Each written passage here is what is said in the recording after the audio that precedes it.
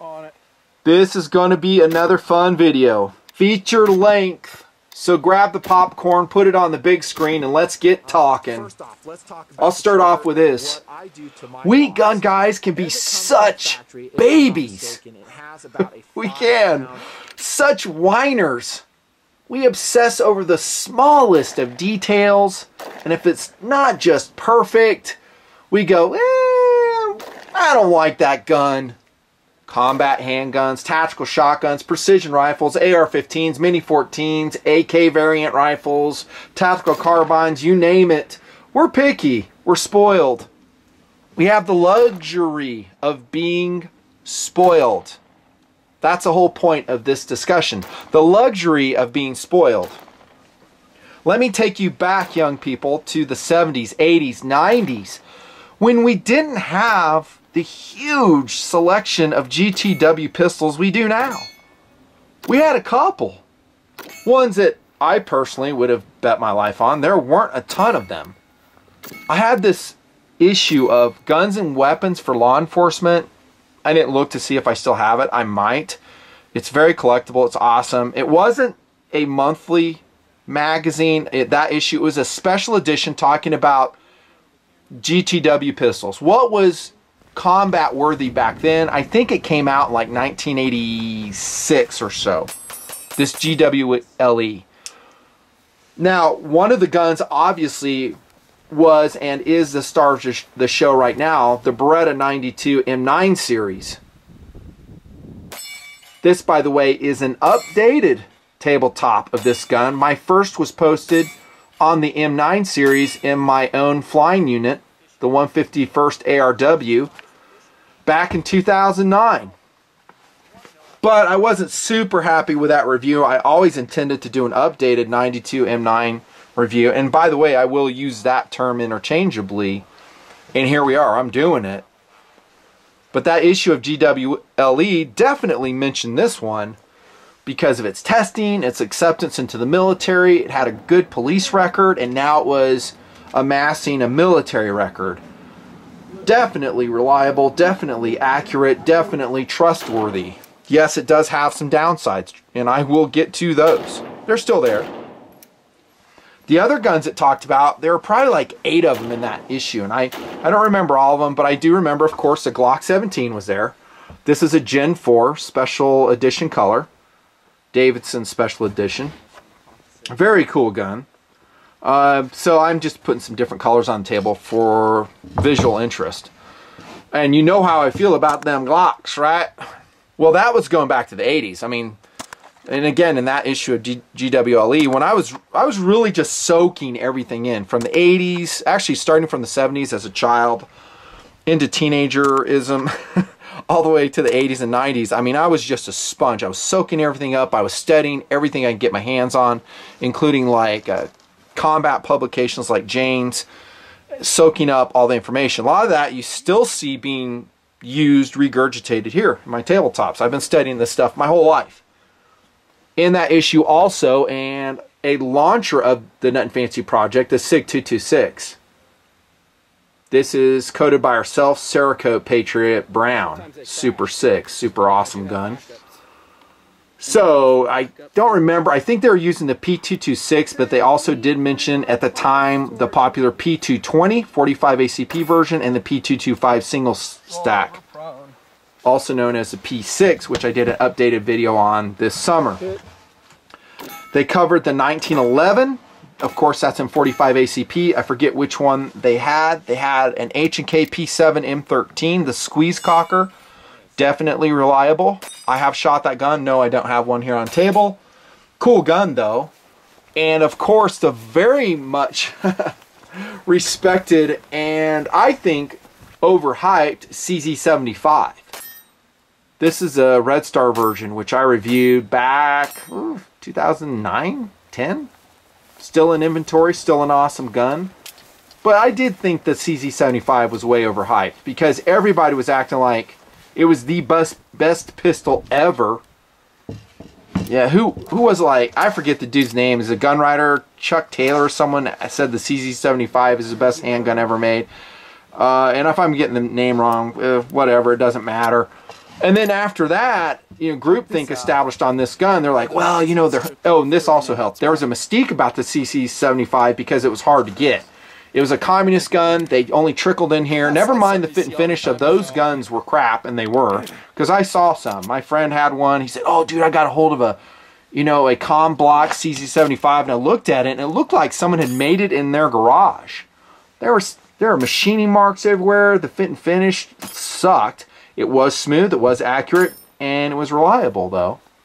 But I did feel it was overrated. I mean, was like raving about the hand grip. Oh, the CZ75 is perfect hand grip. It is good, but so is the Browning High Powers, which, by the way, was another one of those guns. What else was there? Uh, some really weird guns, like, uh, oh yeah, Smith & Wesson 3rd Gen 9MMs. And maybe another one, like Steyr GB, which turned out to be a crap gun.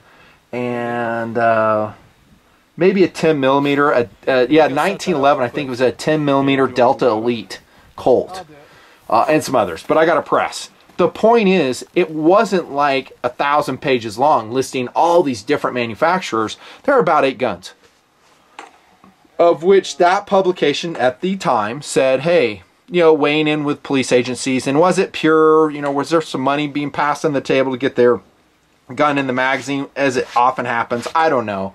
But I think mostly their list was correct. There were like eight guns.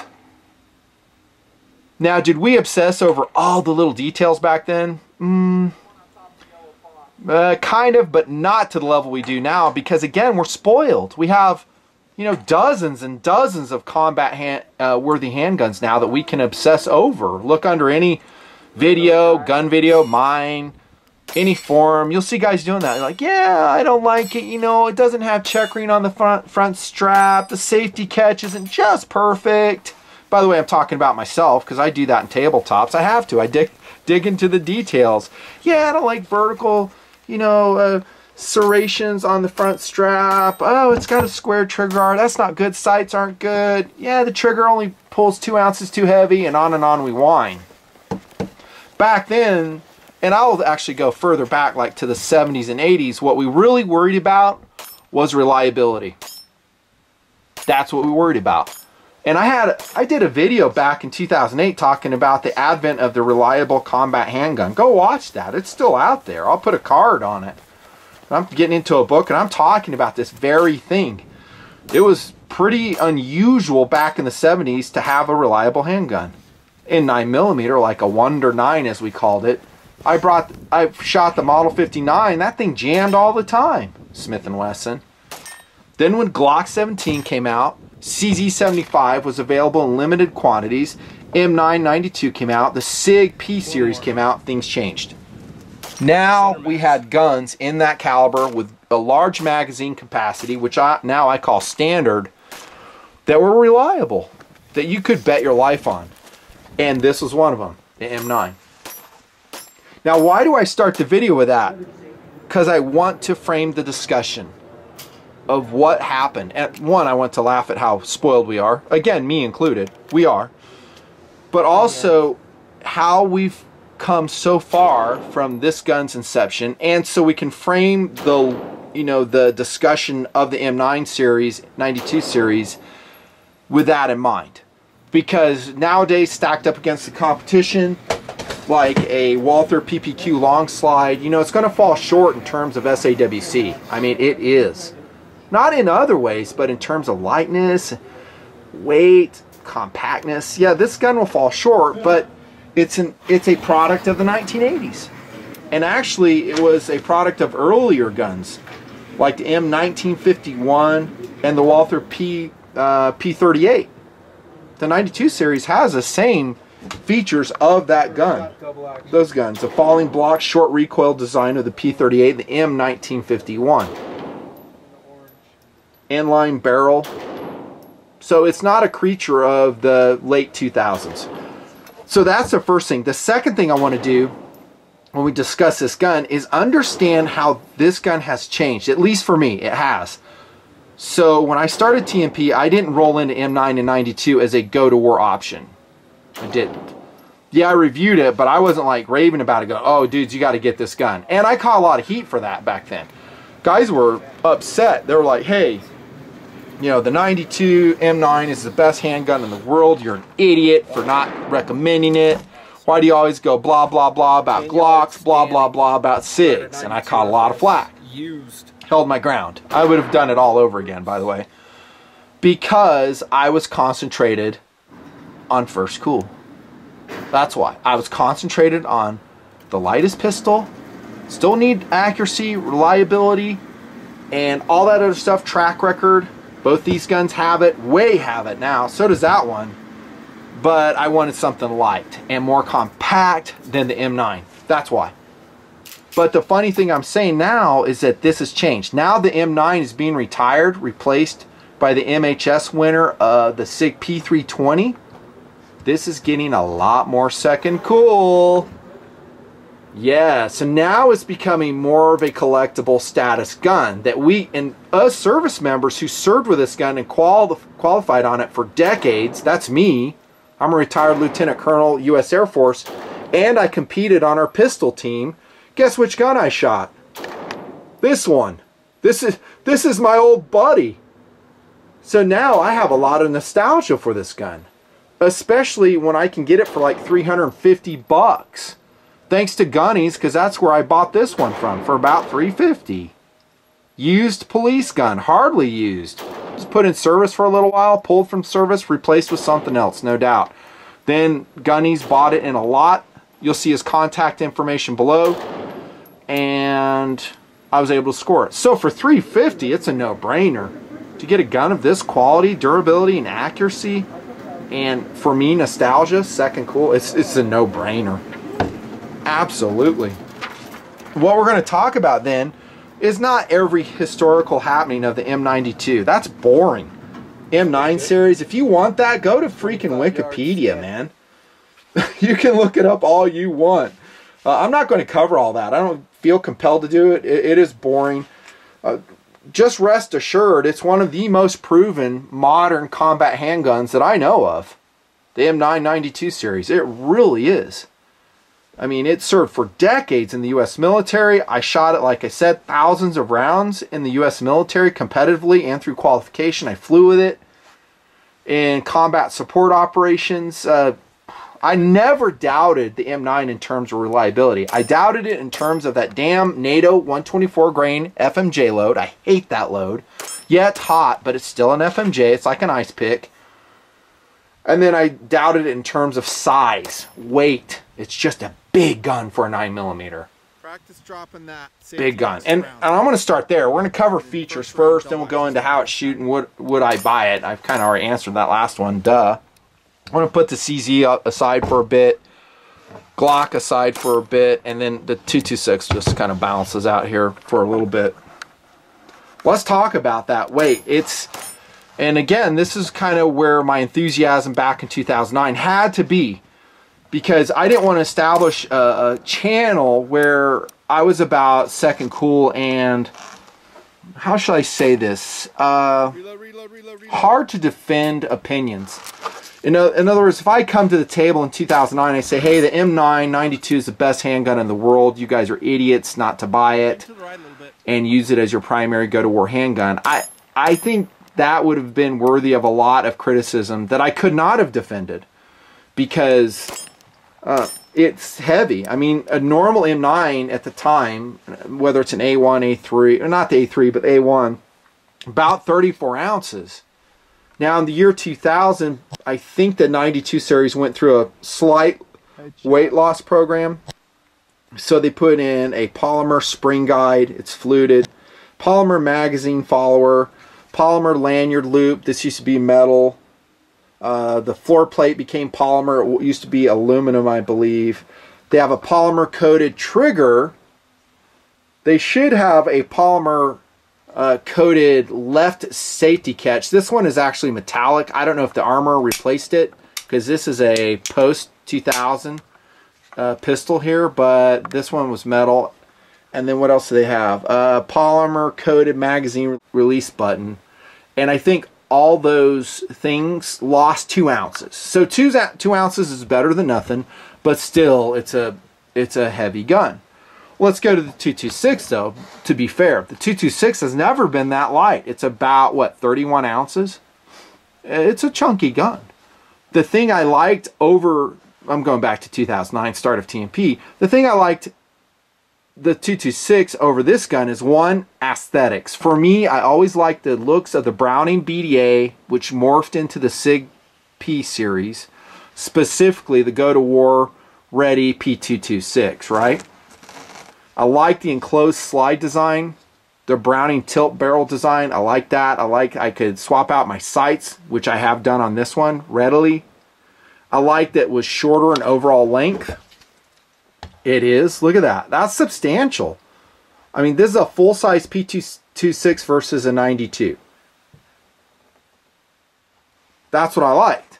And it is lighter. Not by a lot, but it is lighter. And it held more rounds. Well, depending on which magazine you use. But even in 09, I could get Mec-Gars with like 18 round capacity easy. Same with that one too, to be fair. But that's where I was. Okay, but now nostalgia rolls in. now nostalgia. But back in the 70s and 80s, I'll say like the late 80s, uh, we we and I say we as a gun culture were willing to take upon um, our carry system more weight because of what this gun provided us, and that it's that is its reliability, which we'll visit again in how did it shoot. And I've put like 500 rounds through two 92s. Tactical Duel has one, and then I had this one. So we split the rounds between the two pistols, which, by the way, I've got to mention, the rounds were partially sponsored by, get this, Federal. Partially. Yes, we did get some boxes of ammunition through Gunny's, the Great American Gun Store, thank you, and Federal. So they kind of worked in conjunction. No, I didn't get case after case. I got some boxes, you know, enough where we could run 500 rounds through and go, yeah, well, let's, and I used 124 grains. And the hollow point loads I used out of my own stash and some other loads. So it wasn't like fully sponsored. But anyways, they've earned this and I love Federal ammo, always have. So thank you to them. Features. I'm going to go as quick as I can.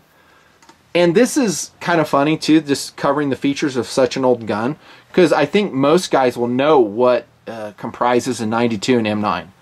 That's true, but check this out. There's a lot of new shooters and there's people that will have never or never will watch my original review, so I got to cover them. I love the quality overall. I'll start there. The quality of all Beretta pistols is outstanding. It's always been that way. The Bruniton finish is basically epoxy over parkerization that's baked at high temperature, and dang, it is durable. Voice of experience. Alloy frame. Now that will wear and tear. It'll. I wish I had TDs with me but he's got it right now. His is polished even more than this. And there's some that was in the lot that Gunny's got. I'll show you some video that were really worn. They look so cool. Not so much in the slide area, but more in the back strap where you could see the officer. Again, these were used police guns. They were just holding it. I don't know if they're doing a traffic stop, a felony thingamabob, but they're holding it. And so that will wear the hand grip even though it stays in the holster. So the quality of the finish is excellent. It has been upgraded over the years, but I can't fault Bruniton at all. You throw it up against a, I don't know, a Tenifer DLC coating. It's not super high tech, but dang does it work. When this gun came out, by the way, man, did they test this. I mean, you'll go to Beretta's site and they still talk about the testing of the M992 series. Minus 40 to 140 Fahrenheit, saltwater tests, drops onto concrete, burying it in the sand, mud, snow tests. Uh, by the way, all that's been done to these other guns too. Glock, 226. Uh, not too sure about the CZ75, but the result was MRBF of 35,000 rounds.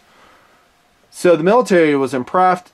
Impressed. It barely beat out that gun, the P226 series, in my understanding, just on basis of costs. So the M9 was more inexpensive. I'm dredging up some old history, but it's kind of goes to the the features review of quality. Cold hammer forged barrel, chrome lined, open slide design. Again, that guy kind of goes back to the M1951. No, I've never been really a, fa a fan of that. more than anything aesthetically. Now Beretta will talk about, well, you'll never get a stovepipe jam in this because there's nothing for it to catch on. Okay, I got you. And remember, this is an inline barrel travel with a falling block short recoil design of the gun. I get you, but it's just, I didn't really like the looks. I did like this though, however. I love seeing this gun in action in the Lethal Weapon series back when Mel Gibson used to be ultra cool. Man, did he sell a lot of these guns for Beretta. Remember when he's shooting at that helicopter? Man, I was thinking that was the coolest movie scene I've ever seen in my life. He knows he can't take down a helicopter with a 9mm, but he ain't giving up, and he sure is trying. Then he's giving Danny Glover a bunch of heat over his choice of guns. Yeah, I know a lot of old timers that carry wheel guns. that was pretty funny, dudes. Uh, yeah, the the 92 back then uh, sold a lot just from that movie series. Uh, and I'm saying this because he made the gun more popular, and I didn't hear a lot of guys complain about it. It was my own, own weirdness, right? Not there's anything functionally wrong with the open slide design. For instance, I talked about the sand test, and this gun saw a lot of desert duty. The only desert malfunctions it really had was the contractor magazines. I think they were checkmate magazines with the phosphate coatings. And so those were causing problems in Iraq. And then they changed those, and then the problems went away. And they did have some slide breakages, I think because they were running high pressure submachine gun ammo through it. And early, early versions of the M9 had some slide cracks, and they put some modifications in there to prevent it. Right? Open slide, though, I'm more, uh, I don't know, more open to it. You know, for, for what I'm using this gun for. Now, the front uh, sight is pinned on this version. In later versions, uh, it's not. Okay, so if that's important to you, being able to take your front sight off, getting a used police gun like this, uh, might want to look uh, look elsewhere, right? If we talk about the M9A1 series, that came out in 2006. There were some changes on that. I'll go over them super quick. It had a one-slot pick rail. They put in a beveled magazine well, which this gun does not have. A little bit on the front, but definitely not here. They put on some back and front strap checkering. Ooh, I don't like, not this one, I'm talking about M9A1, but I make fun of us. Ooh, I don't like it. It's, it's you know, it's not 4,000 lines per inch. that was the A1. And then in 2015, the A3 came out and they finally put in a 17 round mag because a normal M992 mag is 15, like this one. Uh, way too few of rounds for such a large handgun. And then the A3 added a three slot pick rail, earth tone, thinner wraparound grip. Uh, by the way, that's a great looking gun, by the way, the M9A3. And Beretta still sells that. And then I did review that Wilson Combat uh, 92, I think a couple years back. Uh, there you go. That's just some of the improvements it made. Some of those have bled over to the 92 series. Again, you can go to Beretta's page and check it out. Features. I love the takedown of the M9. I just love it. It's so simple. But you just rotate this buttons, take the slide off, easy, breezy. Put it back on. That being said, I also like the takedown of 226. Also super easy. Glock 26 is prob uh, I'm sorry, the Glock 17 is probably my favorite. I don't care if I have to pull the trigger. It's not a big deal. I love it. Takedown, super excellent. No pick rail on this one, so sad. But for a second cool handgun, vintage handgun in my book, I don't care. I've always liked the trigger guard of the M992. Always have. Squared off uh, front face on it, super excellent. Recurved on the bottom. Kind of cut out here so you can get a high grip on the M992. And that takes us to the trigger. How about it's awesome? Well, awesome in terms of that historical context that I set. So against the competition, an unmodified 226, a Glock 17 unmodified, CZ75 unmodified. I, I still would say it's awesome. Not the first round pull. I mean, the standard DA to SA transition on a 92 M9 is a lot. I mean, that's a long, stiff pull. And in the military, we always carried it around with a round in the chamber, safety up, mag in. That's how we always carried it. Every service was a little bit different because it has all kinds of safeties in it. firing pin block, firing pin striker. Your, the handgun will never go off. You could throw it on the concrete like this, safety off, and it's not going to go off. And then all you have to do is pull that long tri trigger, and then it'll transition to single action. And this is where the trigger is awesome, right here. Do I have my trigger scale? Because I didn't measure it previously. I do. Super awesome. So let's see what this pulls. I really couldn't tell you. I, I'm not even going to guess. We'll just do it on uh, the trigger scale right here. This 92 FS police gun. 512. Let's do it again. That, by the way, is pretty decent for single action. You don't want your single action to be too light. Wow, that's pretty consistent. 5-1. Let's see what SIG is doing here. And I can't tell you how many rounds this SIG's had through it. I don't know, because I could have told you told you before it was coated. Because once it loses it's coated, I can't tell each one from the other one. Dang, dang close. Look at that. So these two guns both have awesome single action triggers. And I've always raved about the P-Series trigger pull. That one pulled even better, 412. So maybe a little bit better. We could be here all night playing, you know, tick or tack, who's got the best trigger pull between these two guns. I call it awesome in single action. And that will bear out again when you see the shooting results. The magazine catch is reversible, again polymer coated in this version. Front uh, striations on the front strap. Would I like front strap triggering? Here I go whining. no, it's fine the way it is.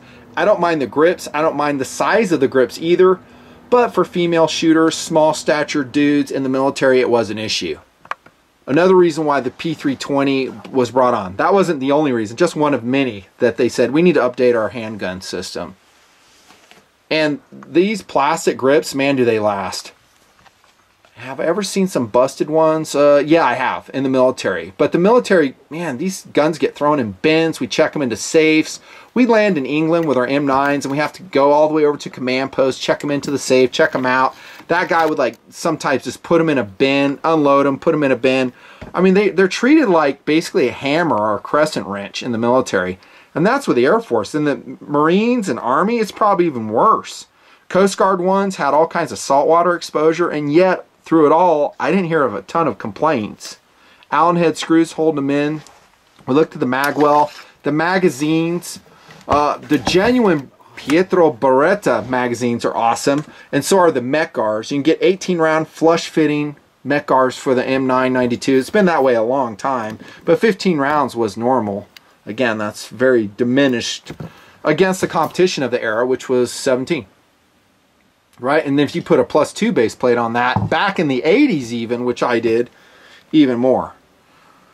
The favorite mag for this, like I said, is PB, so an OEM magazine or the Mec-Gar. And then Airtronic had a huge military order and they delivered like, I don't know, 2 million magazines and I don't think they had any come back. Uh, it won't be hard to find magazines for your freaking Beretta though, and they're all excellent. Well, not all, but most of them are excellent. That's another big advantage to the gun, by the way. Cheap magazines, readily available. You can even find 20 rounders and beyond that. Lanyard loop down here. Same milling on the alloy frame. Nice beaver tail, but it's not obnoxious. Ring hammer right here. And then we get to the slide mounted safety, which I probably in the day criticized. And I'll stick with that. I'm not a big slide mounted safety guy because of this. I have to come high, change my grip, versus a SIG 226. And I said that in the day. I probably said that a dozen times in all my reviews. I just like the 226 better. But for a $350 handgun, I'll deal with it. with this, with the capabilities this one has.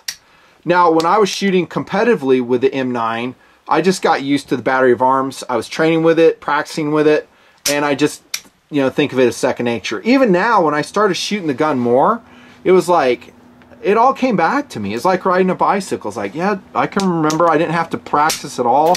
It was, it was literally super cool. Long slide release.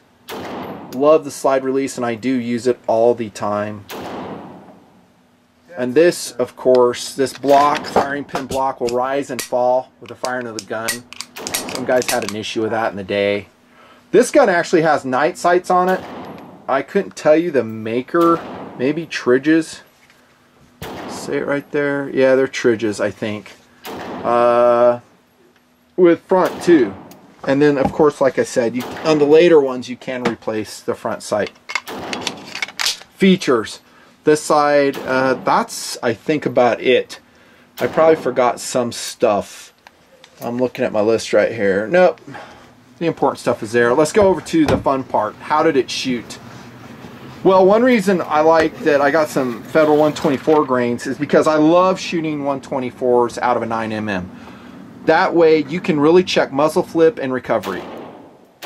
You can't. And so I shot a ton, I would say probably we did, shot about 400 rounds of 124 grain and then the rest was hollow point from various makers. And let me show you the accuracy of this gun, which I'll tell you right now is amazing. Inline barrel, doesn't tilt up like a Browning design like this one, although the SIGs are very accurate. This is semi-rapid. I'll go quick if I can. Five yards. You'll be seeing the video some through some way through the video. Uh, 115 grain right there. That's not one. That's a different gun. Brother 92, 10 yards standing. Dang, son. Look at that. One hole. That's at 10 yards. I got to be honest with you. I don't know if I can do that with a Glock. I, the Glock trigger I like. I won't say I totally love the Glock trigger. Even with a lighter connector, unless I put something like an Apex in it or if it's custom Glock. Dude, I that's amazing. That's 10 yards standing. And this was serial number 293. I can't remember if this it's this one because I have it covered up or if it's Doodles. Another great group, another great group, another great group. And then I this one opened up. But this is 10 yards. I almost got them all in the orange and I said that's my fault because I flung around. Then we've got this one, 10 yards standing. We're seeing a re repetition. Uh, by the way, you notice for me, because I'm left eye dominant, I always shoot to the right if I don't connect, uh, correct my aim point or if I don't correct the rear sight, which you have to do with this one because you can't do it here. So I need to drift it to correct it. There, three shots. God, that's freaking amazing, man. I mean, I was just laughing. I really was. I was just like, God, this is fun. This shooting this gun again just brought back so many memories. I love qualing with this thing, man, because you know, I'd smoke the quals in the military. It's so fun. And the qual in the military, the Air Force one, wasn't a give me. I mean, actually, 25 yards it was supported, and then you shot unsupported at 15. So that's some, you know, it's challenging. It's more suited to combat. Maybe a longer handgun shot versus whatever else you'd qual on, like a, I don't know, CCW, CCP. Good group, 10 yards. These are JHP loads cool. And then check this out. I'll end it here for the accuracy. Here's unsupported. I posted this video on Twitter uh, reuniting with an old friend. That's me standing at an indoor range 25 yards. Federal jacketed hollow point. Unsupported. So again, we see it shooting to the right because of my eye issues. But if I drift it, it's shooting right here. That's, I mean, this this is definitely center of mass. That's a great group for me at 25 yards with this freaking gun. So accuracy is superb. Follow-up shots, even with 124s, 147s, super quick. Super quick follow-up shots. I mean, when I'm shooting it, I'm reminding myself, yep, heavy guns have a benefit. I've always said that my tabletop, especially when I do a 1911 review. Heavy's good. Makes you follow up quicker. It's funner to shoot. Your hand's not sore. This is a freaking heavy 9 millimeter. It is. And uh, I'll tell you what, man. It's, I don't want to carry this gun around anywhere. I don't want to hike with it. I don't want to integrate it into a sniper system. But for the range, dinking around, home defense, pistol in my truck, all day long. Smooth trigger, very little recoil. It was a joy to shoot, reuniting with my old friend. Which leads us to a question. I'm going to bring some of these other guns back on the table. Uh, which one do you enjoy shooting most? Nothing fancy. We're just talking recreation here, dudes. Gun TV, TNP. The M9, the 226. I'll just use these three. Or the Glock. Pistols. That's a hard question. If, in terms of enjoyability, where I am now, I would I would say these two are a draw. So between the 226 and the M992, I enjoy them equally, and this would be third. And the reason I'm saying that is because of the weight, right? The weight. That's why I'm saying it. Because when I get in position, weight is good. And ask any pistol competitor, competitor, I, uh, IDPA or whatever competition you want to do, and weight's good if it's allowed for all the reasons I've said. And that will lead us to the end of the video or close to it. Would I buy it? Value and options. Like. Well, obviously the answer is yes for this price point. Uh, maybe the question would be, would I buy a, a 92 or a Brigadier with a 2 ounce heavier slide, a Centurion Elite Series, an M9 Series A1, A3, the Wilson Combat version, the 92A1, 96A1 and 40 caliber at full price versus what's available today? That is a harder question because then I'm taking again more first cool and value into the equation. You really need to ask yourself what do you intend to do with a gun? If you want to just have a recreational gun, a home defense gun, where it's not going to be in a man portable system, then I would actually have to say, uh, yeah, it'd be great. Especially like that, the 92A1, what's that other one I, I mentioned? Uh. The one that has the uh, the M9A3 updates on, and I'm rolling in, like their website video right now. It, that is a cool gun. It looks great. Yes, it will still be heavy. It will st still be big, but like you said, you didn't care because you're not carrying it around. But if I go to a man portable combat system, WROL, BOK, where I'm carrying it, uh, my first choice on the table would be a Glock 17. Still, without apologies. I don't apologize for that at all. It's just as accurate, okay, close to being as accurate. Uh, very combat proven, super reliable. But dude, this weighs like 26 and a half ounces versus 32 versus 31, 30.5. That's just where I'm at. But these used police guns that are coming out now, they're giving you an opportunity to own a piece of history. Like I said, it's this video is in this review is really about second cool, about remembering us service members that served with this gun. Uh, we probably, like me, had a love-hate relationship with it. The hate would be me carrying it. You know, whether it's in my cross-draw vest as I'm flying over enemy territory, which I did many, many hours. I was cursing this gun. I was like, damn, this thing's heavy. Why can't the military get us Glock 17s, Glock 19s? That's what I was saying. I may have even been known to smuggle a Glock 34 for that exact reason. Maybe, maybe. Can't be verified. Who knows? But uh, yeah, that, and it's big. It takes up a lot of room. But a lot of things that are big and heavy, guns, when you get them in position, uh, it serves to shoot them well. I mean, it's an easier gun to shoot. Uh, as far as quality, the barrel, the finish, fit and finish, durability, it's tops. Proven over decades. I mean, I cannot fault that. Uh, the other things I have with it are super minor, minor quibbles, like the frame mounted safety. I can totally deal with that.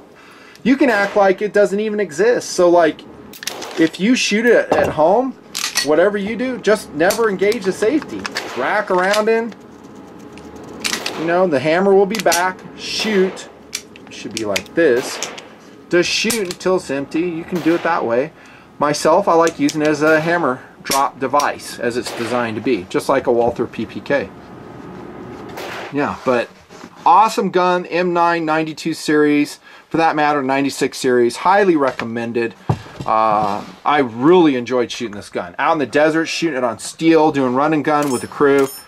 Uh, it just reminded me of the good points of the, the series. It's a total win, especially at this price point. Thanks for watching. Gun TV, TNP. Thanks to the TNP Patreon guys for helping pay the bills here. Sure, appreciate it. You guys rock. Uh, TNP Patreon links are below, as is are the Gunnies links. Uh, thanks so much, and thanks to Federal for the boxes of ammo too. See ya!